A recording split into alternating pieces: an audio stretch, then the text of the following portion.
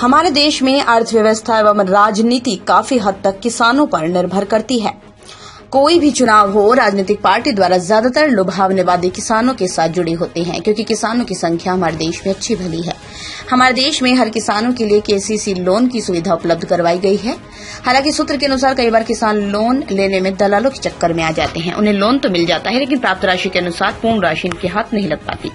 ऐसी ही एक कहानी साहिबगंज जिला अंतर्गत बरहेट थाना क्षेत्र के तलबड़िया गाँव से जुड़ी है, जहाँ पास के गाँव के कुछ भोले भाले, अशिक्षित आदिवासी पहाड़िया समाज की। वैसी महिलाएँ एवं पुरुष जिनकी जीवन यापन कृषि से जुड़ी है, उनको कुछ एक दलाल बैंक की मिली भगत से लूटने का काम कर रहे हैं। हालाँकि इस बात का दावा आरपी भारत नहीं करता है, लेकिन जिस प्रकार से कृषि को बढ़ावा दे रहे इस आदिवासी पहाड़िया समाज के किसान ने कैमरे पर अपनी बातों को दर्द के साथ रखा है जाँच का विषय वहीं इस पूरे मामले में आरपी भारत के संवाददाता ने पीड़ित किसान से वार्ता की। वार्ता पर किसानों ने क्या कहा? आरपी भारत की एक रिपोर्ट में आप भी देखिए। साहिबगंज से ब्यूरो चीफ आनंद भगत की रिपोर्ट। क्या नाम हुआ आपका? मेरा नाम मंगरेश मालता है सर। क्या मामला सर वही मामला है सर। हम केसीसी के लिए बहुत पहले फॉर्म भरे थे और मेरा खाता बरेस है फिर भी यहाँ से होल्ड लगा। होल्ड लगा तो हम उसको जाके पूछते हैं तो बोलता है क्या हम पैसा डालवा सकते हैं तो होल्ड भी करा सकते हैं? कौन बोला ये बात? संचरिया बोला था सर। संचरिया बिचौलिया। संचरिया सर। कहाँ का है? दलबड़िया का है सर। ये डायरेक्ट खाता है। डायरेक्ट करता है हम पैसा डालवा सकते हैं तो होल्ड नहीं करा सकेंगे। हमको की दे के बोला था सर मेरा खाता बरेट था तो ये बात आपने शाखा प्रबंधक शाखा प्रबंधक बे- अ, जो है कहीं ना कहीं इस रूप से जो है ऐसे कथन से जो है बैंक बदनाम होता है ये जानकारी आपने दिया? हमने इनको दिए थे सर। क्या बोले? बोले थे नहीं हमसे। बात ही तो नहीं कर रहे हैं। हाँ। मैं ग्राम बेटो के पूते हैं। ग्राम प्रधान भी है। ग्राम प्रधान है आप यहाँ हाँ ग्राम नहीं बेटो के हैं। अच्छा अच्छा। ये क्या नाम हुआ आपका? रविंदर मंच हाँ, क्या बात प्रधान जी बताइए क्या कुछ मामला हमारे ग्राम के समस्या को हम जानते हैं इतना ही है। जो भी काम होता है बोलक जाते हैं चाहे बोलक में तो काम ठीक चल रहा है। लेकिन यहाँ तलबड़िया बैंक में आते हैं, कहीं बैंक जाते हैं तो यहाँ तलबड़िया के लोग बिचौलिया रहते हैं, साल लोग है तेली लोग है, और कोई भी मैंने बिचौलिया रहता है तो यानी यहाँ किसी खास करके यहाँ तलबड़िया सरकार आते हैं, काम करने काम करने के लिए, कोई भी काम के लिए विलेज कमीशन हो गया यानी लोन हो गया केसीसी लोन लेके जाते हैं बैंक के मनिए के पास तो काम नहीं करता है। अब बिचौलिया को देते हैं तो काम करता है।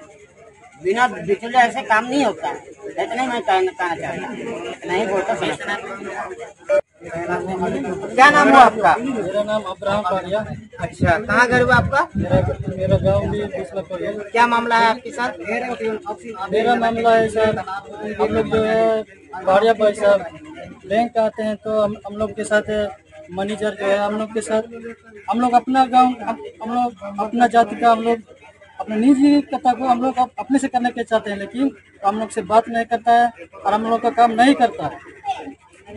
और हम लोग जो है अभी जो हम इकट्ठे हो गए, हम लोग जो है सरकार के ओर से जो है ये क्या बोलते हैं, माफ़ी वाला केसीसी माफ़ी वाला केसीसी माफ़ी वाला कृषि सरकार से उस ओर से ऑर्डर हुआ था। तो हम लोग जो है लिस्ट के ओर से ब्लॉक से हम लोग को ये लिस्ट मिला है। ब्लॉक से लिस्ट मिल, मिलने के बाद हम लोग को जो क्यूआसी करवाए क्यूआसी करवाने के बाद हम लोग को कितना कितना लोन मिला उसके द्वारा से हम लोग को लोन आ रहा है उसके थ्रू से जो चालीस हज़ार मिल रहा है उन लोग को सही रूप से नहीं मिल रहा है। जितना लिस्ट के अनुसार सब लोग हम लोग करवाए हैं क्यूआसी अच्छा। मतलब कि आपके साथ भी वही घटना घटी है कि आपको जितना पैसा मिल रहा है वो पैसा हाथ नहीं लग रहा नहीं काफ़ी कम मात्रा में पैसा।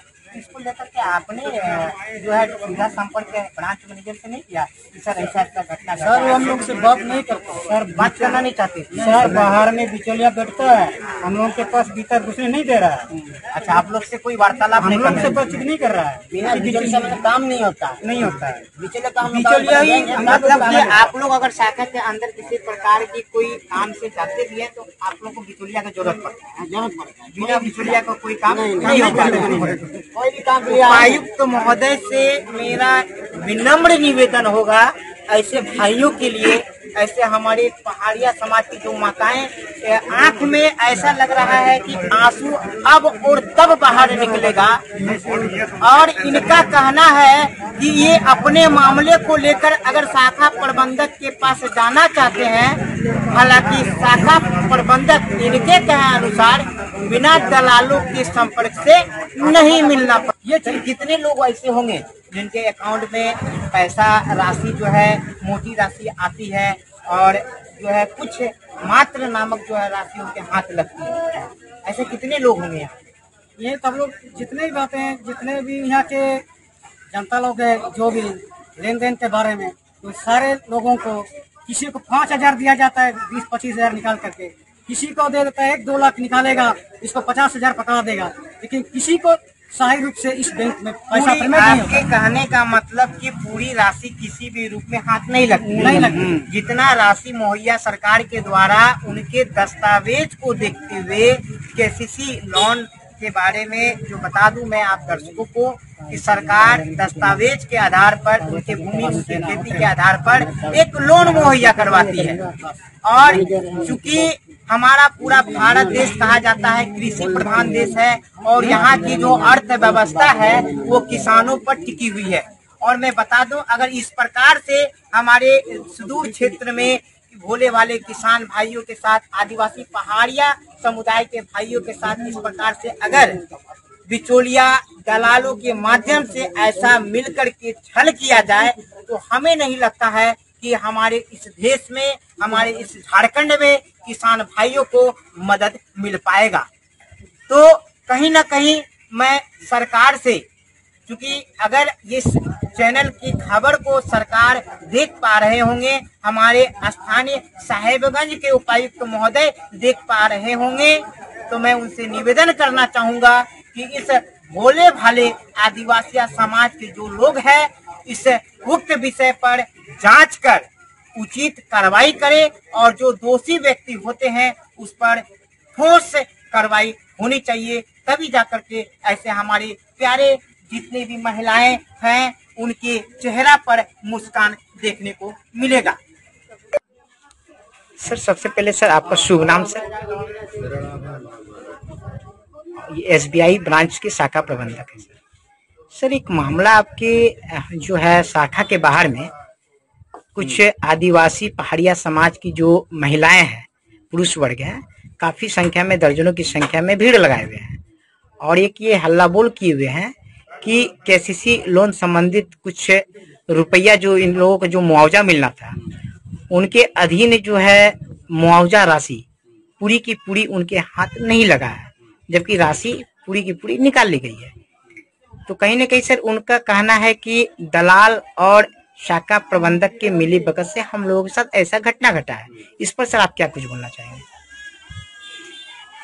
सबसे पहले तो आप जो बोले हैं कि इस तरह से कोई घटना हो रहा था, हमको इसके बारे में जानकारी नहीं थी। किसी तरह का यदि आप बोल रहे हैं तो यदि कोई मेरा पास में आएगा ऐसे समझ तब ना हम उसके बारे में कुछ बोलेंगे। कि उसका हाथ में लगाने उसका खाता में पैसा है।